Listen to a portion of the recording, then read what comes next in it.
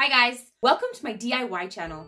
My name is Annalee and in today's video, it is the final round of the Creative Champion Contest and the theme is Crafter's Choice. Let's get right into it.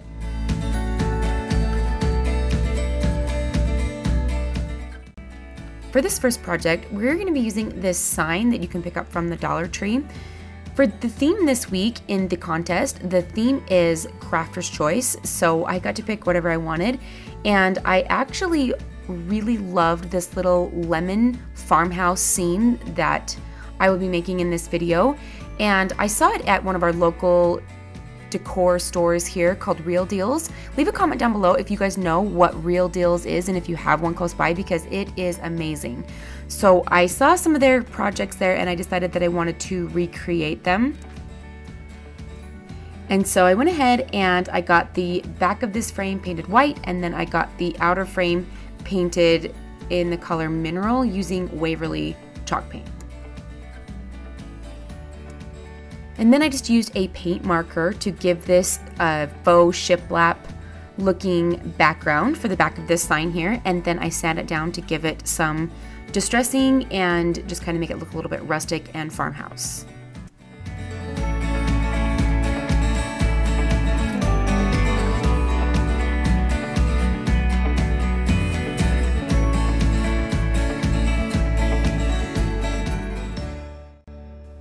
Then I went ahead and with the frame, I went in and did a very heavy-handed dry brush thing, dry brushing on this frame right here to just make it look really farmhouse and to match the other frame that I made for this that you guys will see here in just a minute.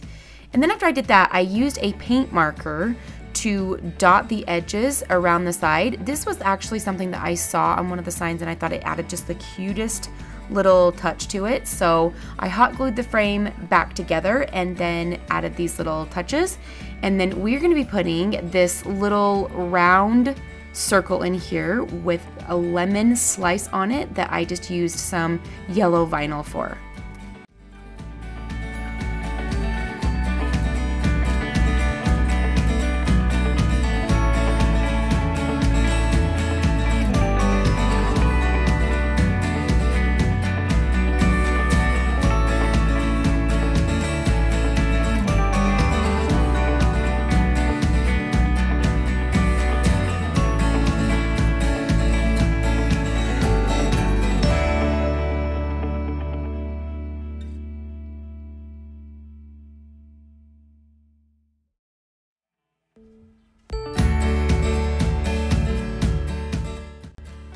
Here is that little lemon slice and we are getting this transferred and put on. You guys can see the dots a little bit better on the side. It kind of gave it just a little bit more detail. And then just using some hot glue, I glued this right into the center and that was it. This That's up for this little sign.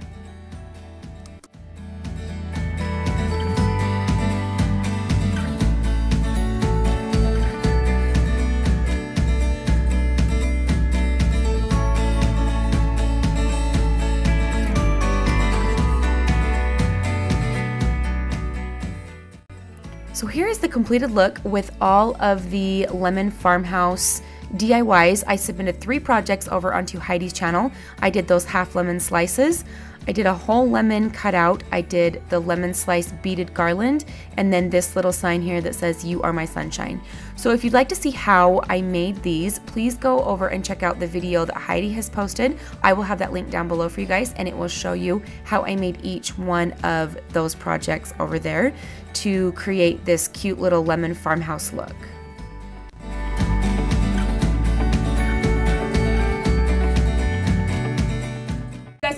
Interrupt for just a quick second just to tell you all thank you so much for the opportunity that you have all given me to do this champion competition. I would not be here in the final round if it were not for you guys voting for me to move on into the final round. When I entered into the competition, I honestly just hoped to move on past the first round.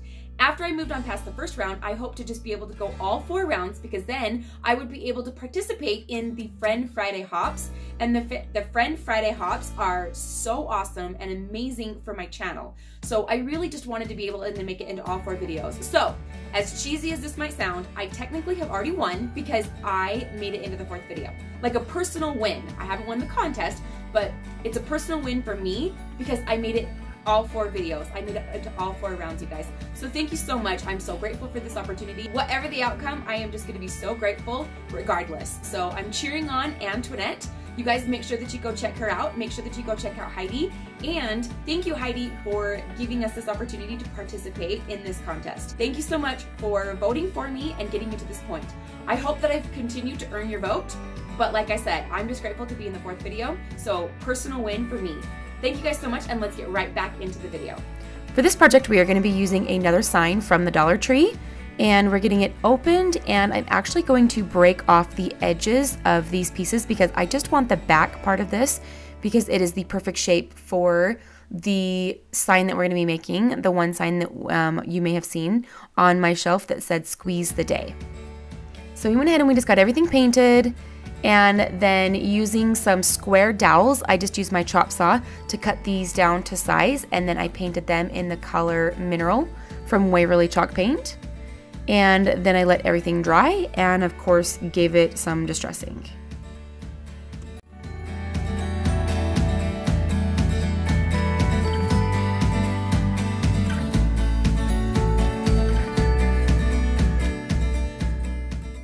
To make this sign just a little bit more unique, I used some masking tape to create a cute little striped pattern and I just painted on a big stripe in the middle and then some thinner stripes on either side of that and then some really thin stripes on the edges of that. And so here you can just see me getting those painted on and then I of course sand those down to have them look really faded and rustic and farmhouse.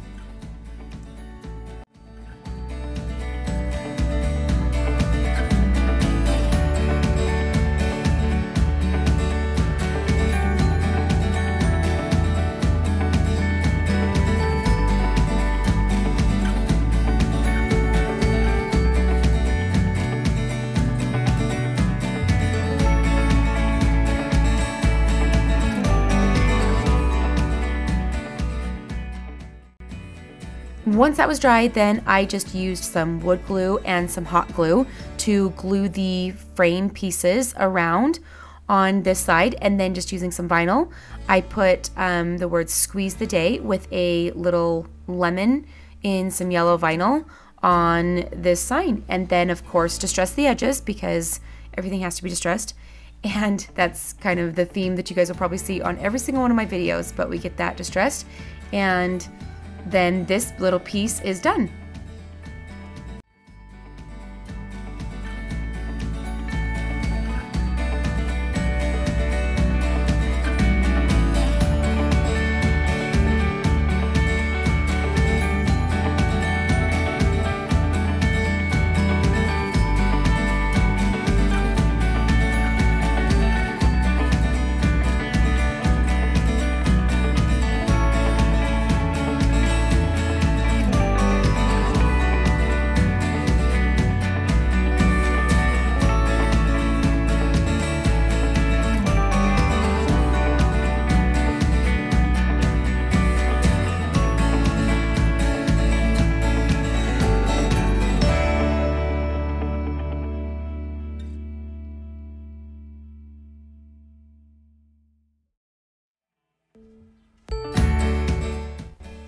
And for our final piece of this video that you will see on this actual video, we are using yet another sign that you can get from the Dollar Tree. But this was the perfect size and I actually really like the um, blonde frame on this. So we're going to be leaving this the same color. But I'm just taking some scrapbook paper. This is some lemon scrapbook paper that I got from Joann's. And cutting that down to size so that it will fit into my frame right here. And then I do glue that down with some wood glue so that it doesn't wrinkle my paper as much. I really love using wood glue to glue down my paper because it has less moisture content than Mod Podge. And so it really, um, your paper just lies really, really smooth. There's less wrinkling and crinkling when you use wood glue on your paper.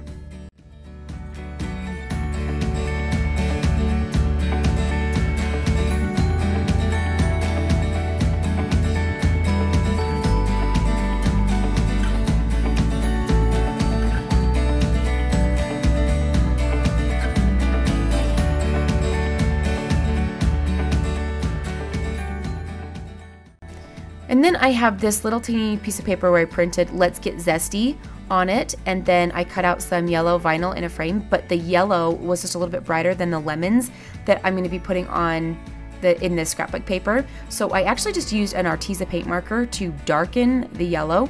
That actually worked really well. I didn't know if it would but it stayed on the vinyl and as long as I didn't rub it too much it actually worked really well. So I just went ahead and I put this little scalloped frame around the edges and that was it. Guys this little project was done you guys, please be sure to go over and check out the video link down below so that you can see the other videos and also so that you can see Antoinette's video. She is the um, other girl that is in the final round with me, and so I'd love for you guys to go check out all of our videos. Also, this video is a Friend Friday hop, so we will have the video of the next girl in line linked down below for you guys to click on that video and just go ahead and hop around, it'll take you full circle, and you'll be able to see all of the videos.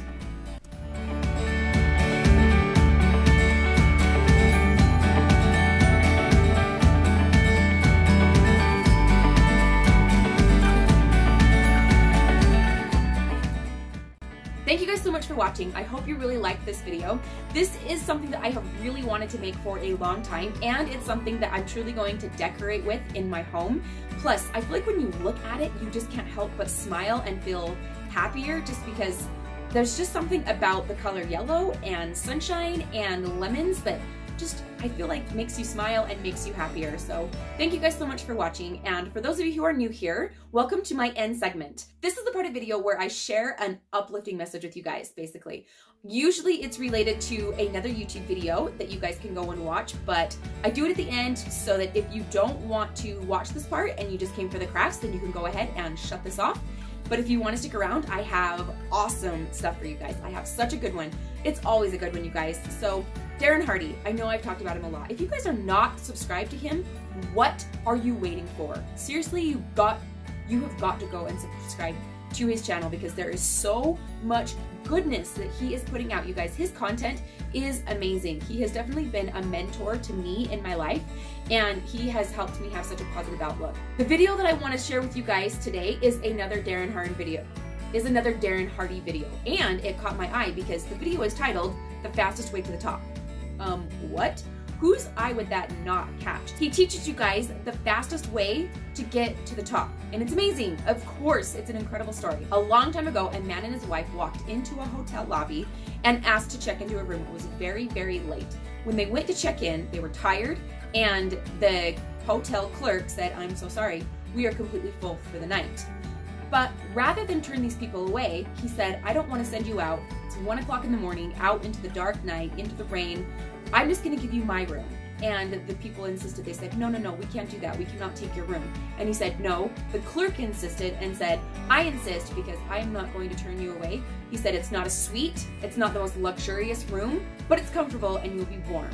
So he gave him his own room. The next morning, when this man went to pay and check out, he was so grateful for this hotel manager. And he looked at this hotel clerk and he said, You should be managing the best hotel in the entire world. Few years later, fast forward, these two stay in touch, they stay friends. And the man who had rented the hotel called up the hotel clerk and said, I want you to come out and see a project that I've been working on.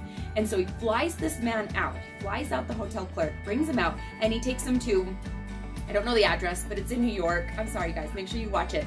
But he takes him to this corner in New York and he shows him this building that I think is being built or maybe just built, but it's a really nice building and it's a hotel. And the man says, I want you to be the manager of this grand hotel. And the hotel clerk was like, I, I can't. And he was like, I assure you, you can. And that hotel is now the Waldorf Hotel in New York. Now, I don't I've never been to the Waldorf Hotel hotel, but I've heard of it, so that's something. And so all the way over here in Idaho, I have heard of this hotel.